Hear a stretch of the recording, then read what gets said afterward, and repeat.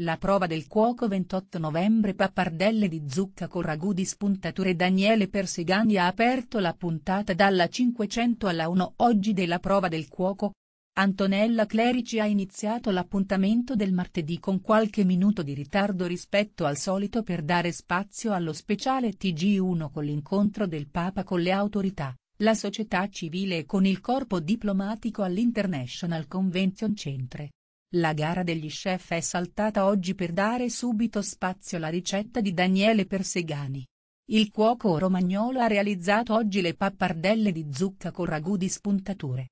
Gli ingredienti necessari per realizzare il piatto dello chef emiliano di oggi alla prova del cuoco sono 100 g di purea di zucca, 2 uova, 300 g di farina, 50 g di formaggio grattugiato, olio di semi, 2 carote, 1 costa di sedano, 1 cipolla, 1.5 kg di costine di maiale, 1 mazzetto aromatico, 500 ml di passata di pomodoro, 50 g di concentrato di pomodoro, mezzo bicchiere di vino rosso, 1 manciata di parmigiano, 1 noce di burro, sale e pepe quanto basta. Punto la prova del cuoco, Daniele Persegani ricetta pappardelle di zucca Il primo piatto di Daniele Persegani, le pappardelle di zucca con ragù di spuntature. Ha aperto la puntata dalla 500 alla 1 oggi, martedì 28 novembre, della prova del cuoco.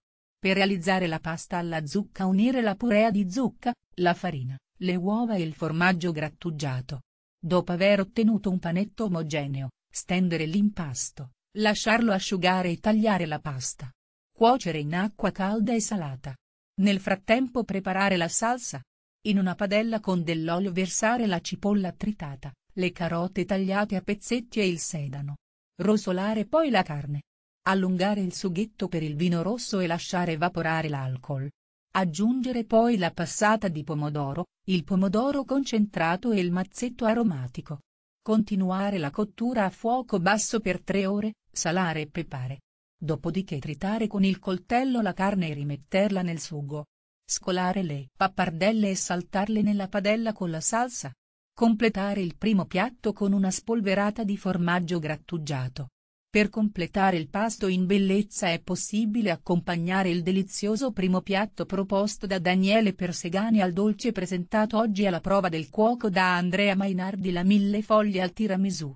Un dessert delizioso con una crema al mascarpone e una ganache sfiziosa al cioccolato bianco.